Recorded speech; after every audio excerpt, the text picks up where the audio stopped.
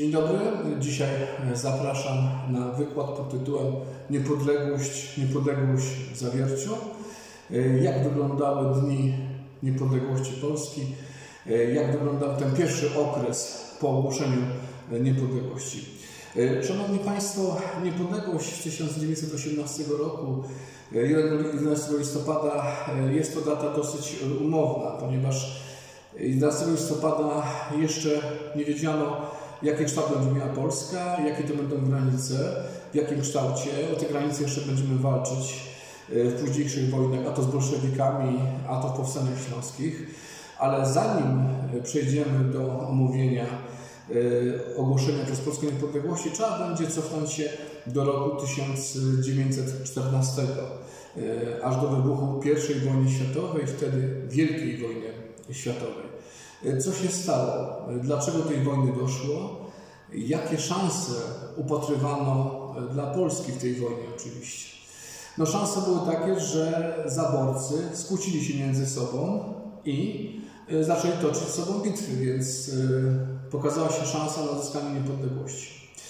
E, wojna z 1914 roku, właściwie pretekstem do tej wojny stało się, stało się zabójstwo księcia Fernanda w Sarajewie i jego żony. E, to zabójstwo przesądziło o e, kolejnych ruchach poszczególnych państw e, i kolejnych wypowiedzeniach wojny. Oczywiście był to pewien pretekst, ponieważ konflikty kolonialne ciągnące się od XIX wieku były tak znaczne, że te państwa nie mogły się dogadać, jeśli chodzi o kolonie, jeśli chodzi o zdobycze z tych kolonii. Mam na myśli tutaj i tanią siłę roboczą, i kopalnie złota, kopalnie srebra, więc cały ten materializm kolonialny był tutaj kością niezgody między e, państwami, państwami też zaborczymi oczywiście, które e, Polskę trzymały w zaborach od 123 e, lat. Austria, Prusy i Rosja były to państwa, które podzieliły się Polską, podzieliły się Polską, podzieliły się terenami i ludnością. Więc jedyną szansą dla Polski wybicie się niepodległość była szansa wojny między tymi państwami. Oczywiście emigracja polska rozpatrywała różne scenariusze, czy przyłączyć się do państw centralnych, czy do państw niemieckich. Mam na myśli tutaj mm, Niemców, Austro-Węgry czy Prusy, czy przyłączyć się też do e, państw, e, do państwa rosyjskiego i z nim współpracować, e, w zamian za to odzyskać niepodległość. Oczywiście to wszystko zmieniało się bardzo szybko, sojusze bardzo szybko się zmieniały i od tej od tego pomysłu właściwie przyłączenia się do państw niemieckich bardzo szybko zmieniono decyzję, ponieważ e, państwa niemieckie nie obiecywały aż tyle, ile chciały władze polskie. Mm, przede wszystkim e, był tu problem e, samego państwa polskiego. Jak ono ma wyglądać, w jakich ma być granicach, jak granica ma przebiegać, więc te problemy były dość znaczne. Ziemie bardziej uprzemysłowione czy mniej uprzemysłowione u kogo miały pozostać, w jakim zaborze miały być. Oczywiście Polska jest zrujnowana, jest krajem bardzo biednym, więc tereny uprzemysłowione y, będą potrzebne jak najbardziej w budowie silnego państwa, natomiast państwa niemieckie nie, niechętnie mówiły o kopalniach, niechętnie mówiły o przemyśle, by ten przemysł był w granicach oczywiście nowej, y, nowej Polski. Dlaczego zaborcom zależało na pozyskaniu przychylności e, ludności polskiej. No przede wszystkim chodziło o rekruta, chodziło o żołnierza. E, wojna to ogromne straty finansowe, straty ludzkie, więc rekruci z Polski uzupełnialiby szeregi niemieckie czy też rosyjskie i mogliby dalej kontynuować, kontynuować wojnę. Często zdarzało się tak, że nasi rodacy występowali w trzech różnych mundurach, pruskim, austriackim, niemieckim czy nawet rosyjskim, ponieważ w tym zaborze znajdowali się i w tym zaborze dostali, mm, dostali bilet do wojska, musieli pójść i walczyć po stronie zaborcy, często przeciwko sobie. Była to też również tragedia e, narodu polskiego. W roku 14 wybuchła wojna. Planowano, że ona potrwa od 3 do 4 tygodni. Nikt nie spodziewał się nowych środków bojowych, nikt nie spodziewał się e, takiego, takiej wojny, wojny okopowej, wojny w transzejach, wojna, która utknie gdzieś tam na froncie i państwa biorące w niej udział będą ponosiły coraz większe straty. Czy wojna, czy wielka wojna, jak ją nazywano wtedy, była jedynym, jedyną możliwością wybicia się Polski na niepodległość? No okazuje się, że chyba tak. Z perspektywy czasu, obserwując powstania listopadowe czy styczniowe, które były nieudane, represje po nich, Polska samodzielnie nie miałaby szans na wbicie się niepodległość. Nie było takich możliwości bez wsparcia Zachodu, bez pieniędzy Zachodu, bez e, żołnierza dobrze wyszkolonego, więc raczej te powstania, które odbywałyby się później, nie miały przeszłości, ale wojna dawała szersze możliwości dla powstania nie tylko Polski, ale innych państw, które zniknęły z mapy Europy i świata. Prowadzona wojna wyczerpywała wszystkie strony i państwa centralne, i państwa ententy, które ją prowadziły. Wprowadzono nowe środki bojowe, mm, jak gaz, y, jak czołgi, y, broń maszynowa, zasieki. Również ruszyły samoloty, ale bardziej w takiej kwestii zwiadowczej, więc wojna stawała się coraz bardziej okrutna. Już mniej więcej w roku 1916 polska emigracja, polskie władze chciały przypomnieć o Polsce, że Polska jest, istnieje, że należy jej się miejsce, miejsce w Europie. Poszczególne miasta w Polsce były przygotowane do odzyskania niepodległości, choć jeszcze było to bardzo trudne. W roku 1915, kiedy Rosjanie opuścili Zawiercie, do Zawiercia wkroczyła armia niemiecka, która natychmiast E, dokonała przeglądu tego miasta i wprowadziła własną administrację. E, bardzo szybko chciała uruchomić administrację, uruchomić przemysł po to, żeby e, wykorzystać to miasto oczywiście też na potrzeby wojskowe. Przemysł, który miał działać również na potrzeby wojskowe. 1 lipca 1915 roku Niemcy ustanowili, że Zawiercie będzie miastem, więc w tym roku Zawiercie otrzymało prawa miejskie właściwie pod protektoratem już Niemców. E, kolejne lata wojny to wojna na wyczerpanie. Wojna, która wykańczała i państwa centralne, i również Rosję. W roku 1917 w Rosji dojdzie do największego wybuchu rewolucyjnego. Będzie to rewolucja październikowa, gdzie do władzy dojdzie Lenin. I Lenin wyda dekret mówiący o tym, że państwo socjalistyczne, państwo komunistyczne, jaką miała być Rosja, nie może brać udziału w więcej wielkiej wojnie, dlatego że my nie uciskamy innych narodów. Oczywiście było to, było to nieprawdziwe, było to kłamstwo. Lenin wycofał e, wojska e, rosyjskie z wojny tylko dlatego, żeby działać tutaj rewolucyjnie w swoim państwie i obalić e, porządek, który istnieje, obalić carat i obalić białych. Więc to tylko była taka lekka mistyfikacja mówiąca o tym, że Rosjanie wycofują się z wojny, ponieważ Lenin cały czas miał w głowie rewolucję światową, czyli pójście na zachód i ogłoszenie światowej rewolucji socjalistycznej. Wycofanie się z wojny w 1917 roku Rosji spowodowało, iż Niemcy nie musieli walczyć na dwóch frontach. Oznaczało to dla nich, że sytuacja jeszcze jest do wygrania E, a Rosjanie już są mniej niebezpieczni, ponieważ rewolucja i chaos wewnętrzny powoduje, że państwo jest słabe, państwo jest bez, bez przywódcy. E, obalenie cara Mikołaja II, obalenie rządów białych spowoduje, że Rosja przejdzie na inną formę rządów, no, formę rządów raczej, raczej bardzo, bardzo dramistyczną, formę rządów, gdzie będzie jeden człowiek odpowiadał za wszystko i rządził według swojego uznania.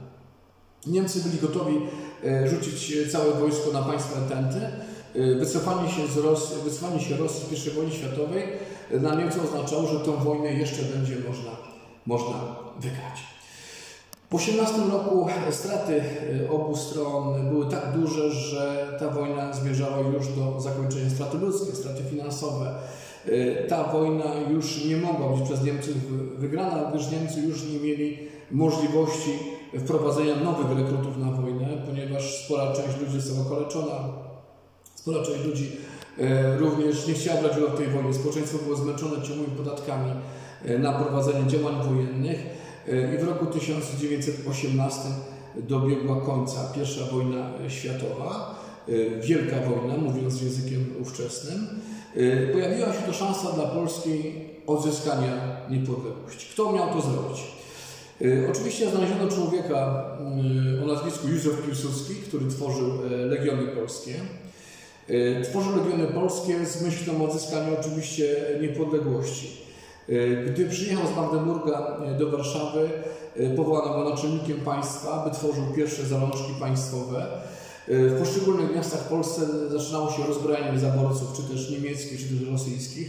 Oczywiście nie była to łatwa sprawa, ponieważ Rosjanie i Niemcy z poszczególnych miejsc spakowali się w ciągu jednego dnia i mm, nie uciekli nagle, tylko były to też krwawe, krwawe lokalne bitwy e, w mieście, gdzie zaborcy nie chcieli oddać swoich urzędów, czy nie chcieli opuszczać tych miast. E, po co to robiono? Dlaczego to robiono? Polska musiała dać znak, że istnieje, że my sami Y, możemy rozporządzać y, sobą, że my sami dajemy o sobie. Zobaczcie, my usuwamy zaborców, spójrzcie na nas, prowadzimy, prowadzimy tą nierówną walkę, mimo że nasza, nasze społeczeństwo to przypadkowi często ludzie, którzy zaangażowali się w wyzwolenie miast, nie mają broni, nie mają odpowiednich narzędzi do prowadzenia wojny, a jednak ryzykują własnym życiem, bo zależy im na niepodległości.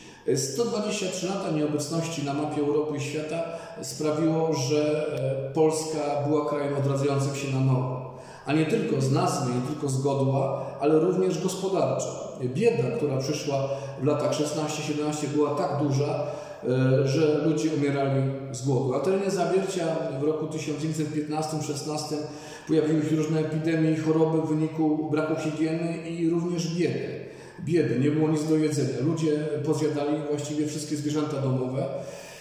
Bieda była tak duża, że e, władze migracyjne musiały interweniować, by tym ludziom zapewnić jakieś minimalne wyżywienie. W roku 1918 formowane polskie władze stanęły przed nie lada wyzwaniem. Jak wyżywić społeczność w tych miastach bardzo zaniedbanych, szczególnie tych wschodnich? Jak wyżywić tych ludzi, którzy właściwie nie mają co jeść? gospodarka zniszczona, pola zniszczone, niczego się nie uprawia, zacofana gospodarka przez zaborców, więc nie mamy środków nawet do prowadzenia działań wojennych, a musimy wykarmić e, to społeczeństwo. Oczywiście ruszyły kontyngenty z ziemniakami, ruszyły kontyngenty z naprawą socjalną państwa polskiego. Oczywiście przychodziło to bardzo trudno. Nie wszystkie miasta otrzymywały w tym samym czasie odpowiednią ilość jedzenia, żeby zapewnić jakiś byt Mm, tym ludziom i oczywiście olbrzymie bezrobocie. E, po odzyskaniu niepodległości polski przemysł, polska gospodarka była w gruzach, e, bezrobocie było przeogromne, więc ludzie zajmowali się e, i jakimś handlem, jak ktoś musiał, i byli to robotnicy najemni, którzy pracowali dzień, dwa, potem przerwa, jakiekolwiek zajęcie łapali, by wyżywić rodzinę. Więc sytuacja była bardzo trudna. Również przestępczość na polskich ulicach była bardzo duża, ponieważ no, ludzie chcieli z czegoś żyć, więc złodziejstwo było takim procederem, który przynosił no, jakieś, jakieś profity. Ludzie ratowali się jak mogli. Nie usprawiedliwiając oczywiście yy, bandyckich napadów, jednak Polska stała się obszarem dość niebezpiecznym. Yy, więc w tym okresie bardzo ciężko było się poruszać, szczególnie wieczorową porą po ulicach, gdzie zostali nawet zabity przez, przez jakąś obrączkę czy jakiś złoty naszyjnik, bo ktoś chciał to sprzedać, by wyżywić y, rodziny. Były to bardzo ciężkie czasy. W obrębie Zagłębia Dąbrowskiego, gdzie znajdowało się również zawiercie, y, stanowiło to istotny punkt dla zaborców. Pamiętajmy, że jest bogaty Śląsk, jest Zagłębie Dąbrowskie, y, są kopalnie, więc zaborcy niechętnie opuszczali te tereny, by pozbawić się dochodów ze sprzedaży węgla, wydobycia, wydobycia minerałów oczywiście, którymi handlowano. Natomiast e, no, e, polskie władze ogłosiły apel do społeczeństwa, by odbierali to co ich, więc ludzie organizowali się w małe grupy e, dywersyjne, by utrudnić życie zaborcom, by jak najszybciej opuszczali nasze tereny, że koniec wojny światowej oznaczał, że ponieśliście porażkę, więc opuszczajcie nasze tereny i to my jesteśmy gospodarzami w naszym kraju. Gospodarka bardzo słaba, bardzo chwiejna, trzeba wszystko odbudować. Rok 18 to rok zaszczytny. Piłsudski wpada na pomysł ze sztabem e, swojej generalicji, by już 11 listopada 1918 e, roku ogłosić niepodległość Polski. Ogłosić bez względu na wszystko, co będzie się działo. Więc ogłoszono 11 e, listopada jako niepodległość Polski. Dlaczego to zrobiono? Oczywiście nie możemy wtedy mówić o niepodległości, nie możemy wtedy mówić o jakiejś stabilizacji państwa, ponieważ to był jakiś nowy twór na mapie bliżej nieokreślony. Nikt jeszcze w tym czasie nie określił polskich granic. Społeczeństwo polskie było, ale w jakich granicach? Tego jeszcze e, nie wiedziano. E, to rozreklamowanie Polski, mówiąc współczesnym językiem, miało charakter przypomnienia wszystkim narodom europejskim, a może i świata, że Polska istnieje, że my jesteśmy. Myśmy wytrwali ponad 123 lata pod butem niemieckim i rosyjskim, więc chcieliśmy pokazać, zobaczcie, my istniejemy, ogłaszamy naszą niepodległość. Oczywiście ta niepodległość nie przyszła 11 listopada, ponieważ będziemy toczyć boje o granice wschodnie z bolszewikami, będziemy toczyć boje jeszcze z Niemcami, mm, więc chcemy sobie wywalczyć jak najlepsze, najlepsze granice. Lokalnie w Zagłębiu Dobrowskim, w Zawierciu e, poruszają się e, e, oczywiście dywersyjne grupy, które przeszkadzają w życiu zaborcom, którzy no, nie opuszczają naszych terenów. Maruderzy, którzy chcą jeszcze zostać, czego szukają. No, są urządzane jakieś napady na jednostki niemieckie czy rosyjskie, by uprzykrzyć, uprzykrzyć życie. E, miasto powoli, powoli wraca do normalnego funkcjonowania, jednak odbudowa infrastruktury gospodarczej, polskich władz, e, oczywiście funkcjonowania, zlikwidowania bezrobocia, które było przeogromne, e, nie będzie łatwym zadaniem. Rok 18 to rok symboliczny dla naszego narodu. 12 listopada jest datą symboliczną odzyskania niepodległości, którą świętujemy aż do dzisiaj. E, niemniej jednak datą bardzo, bardzo ciekawą i datą, która jest dla naszego narodu kluczowa, ponieważ uznają ją dzisiaj za początek państwa polskiego, za początek e, odzyskania niepodległości po 123 latach. Przez 123 lata pokolenia Polaków mieszkały w różnych zaborach, e, nie mogąc się posługiwać językiem polskim, nie mogąc chodzić do polskich szkół, czy nie chodząc do polskich kościołów, ponieważ y, po upadku powstania było to wszystko zakazane pod karą nawet śmierci, jeśli ktoś protestował i y, chciał jakieś fragmenty polskiej historii uczyć, czy, czy pokazywać swoją polskość, było to bardzo niebezpieczne. Szanowni Państwo, y, rok 1919 to konferencje w Wersalu, na których to miano ustalić granice przyszłej Polski. Oczywiście mm, Piłsudski założył, że Polsce należą się granice z roku 1772. Oznaczało to dość dużą Polskę w tym, tej części Europy. E, niestety Zachód nie weźmie tego pod uwagę, nie będzie chciał rozpatrywać granic e, z XVIII wieku, e, stworzą nowe granice. Oczywiście części te granice niemiecko-polskie będą tutaj bardzo, bardzo trudne do zrobienia, ponieważ Niemcy nie będą chcieli się pozbyć Y, zakładów, kopalni, nie będą chcieli oddać Polsce łatwo przemysł, a i strona rosyjska również nie będzie chciała pozbywać się terenów, których rdzenni uważali za swoje. Konferencje w Wersalu miały wprowadzić nowy ład po I wojnie światowej, miały pokazać nową administrację. 13 punkt Wilsona, prezydenta Stanów Zjednoczonych, mówił, że Polskę ma być, ale sam prezydent nie wspominał E, jakim ona ma być kształcie, e, jak ona ma wyglądać, e, jakie mają być granice. Tego nie powiedział. Natomiast na obrady Wersalu polska delegacja de facto nie została zaproszona. Niemniej jednak byli przedstawiciele polskiego rządu, jak Dmowski, Paderewski, którzy przysłuchiwali się rozmowie przy Wielkim Stole, nawet doczytali referat. Natomiast ich zdanie nie mogło przebić się przez zdanie Wielkiej Brytanii, Francji czy Stanów Zjednoczonych, bo te państwa, właściwie te trzy państwa uczestniczyły, decydowały o podziale e, Europy, decydowały jak ukarać Niemców za I wojnę światową, ponieważ Niemców oskarżono o wywołanie I wojny światowej i e, skierowano, że Niemcy muszą zapłacić reparacje i odszkodowania wojenne wszystkim państwom, które ucierpiały oczywiście w I wojnie światowej. Natomiast z przykrością można stwierdzić fakt, że Polski nie wliczono e, do cierpiących w I wojnie światowej, ponieważ uznali, że to państwo nie istniało. Więc de facto odszkodowania dla Polski się nie należały. Mówiąc o państwach, które istniały, prawda? Było to dość niekorzystne i dość przykre, e, jeśli chodzi o politykę, e, politykę międzynarodową. Co robi tam Paderewski, znany pianista? Paderewski chciał wykorzystać swój autorytet swoją popularność, był znany na całym świecie jako, mm, e, jako muzyk i chciał pokazać siebie, że on jest Polakiem, e, jestem tutaj z Polakami i chcę państwa polskiego, ponieważ wychowałem się w zaborach, a mogę się doczekać polskiego państwa. Oczywiście Dmowski polityk, który z tym uczestniczył, znany polityk w Polsce, miał wiele zasług. Pojawili się panowie, którzy no, przedstawili projekt Piłsudskiego i jednak on spotkał się z kategoryczną, z kategoryczną odmową, że w tych granicach z roku 1772 raczej, raczej nie, będzie, nie będzie można e, nic e, stworzyć. Przechodząc na warunki lokalne, mówiąc o Zawierciu, o Zagłębiu Dąbrowskim, tworzą się pierwsze posterunki, posterunki, które czuwają nad bezpieczeństwem poszczególnych miast, by zaborcy opuścili nasze, nasze miasta. Tworzą się pierwsze zalążki, pierwsze zalążki władz, chociaż jeszcze to wszystko raczkuje. Gdy jeszcze trwała I wojna światowa, Piłsudski tworzył legiony, legiony polskie. Do tych legionów zgłosiło się ponad 300 osób z Zawiercia. Więc te 300 osób walczyło w legionach Piłsudskiego, zdążyło go poznać. Niektórzy widzieli go osobiście. Nie znali go człowieka jako człowieka niezłomnego, jako patriotę. Co można powiedzieć o Piłsudskim? Piłsudski nie był żołnierzem, natomiast nie miał przeszkolenia wojskowego, więc, więc jakby sam opołał się żołnierzem, tworząc legiony polskie.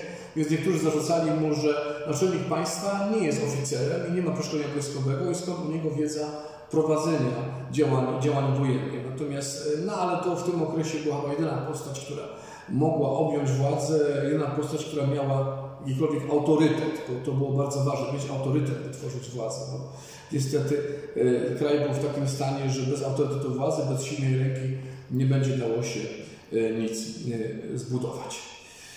Jeśli chodzi o święto 11 listopada, ono później zostało uchwalone jako święto narodowe. Niestety ta druga Rzeczpospolita zdążyła tylko dwa razy to święto obchodzić, ponieważ w 1939 roku wybuchnie kolejna wojna, druga wojna światowa i niestety już to święto nie będzie obchodzone, święto niepodległości Polski. Dopiero po roku 90 przywrócono święto 11 listopada jako święto narodowe przez okres państwa socjalistycznego w Polsce w latach 46, 89 czy 90, jak niektórzy twierdzą.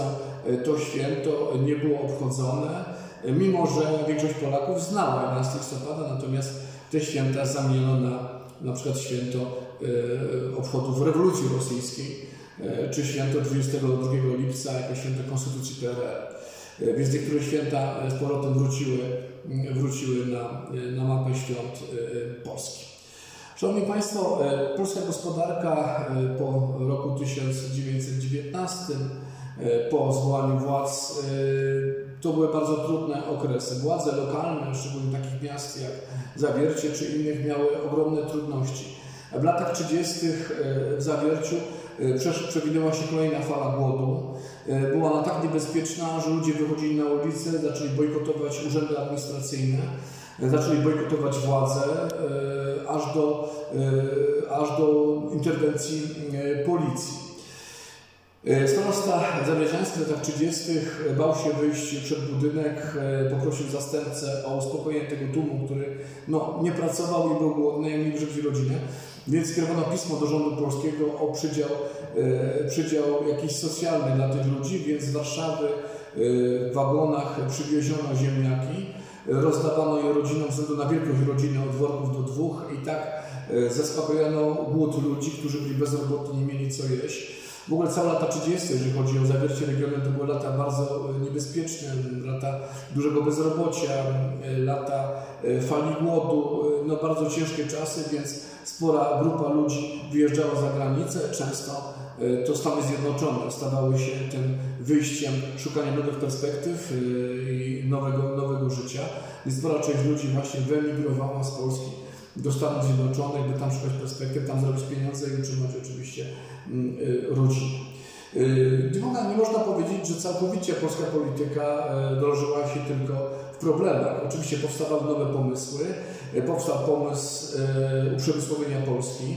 On był rozwinięty na latach oczywiście 38-44. Niestety, by ten przemysł się rozwinął, potrzebny był pokój na świecie. W wyniku wybuchu II wojny światowej nie doszło do skutku wiele pomysłowych rzeczy w Polsce, które chciano zrobić. Centralnego Ośrodka Przemysłowego, produkcji przemysłowej wojskowej. Tego nie zdołano zrealizować w wyniku właśnie II wojny, II wojny światowej.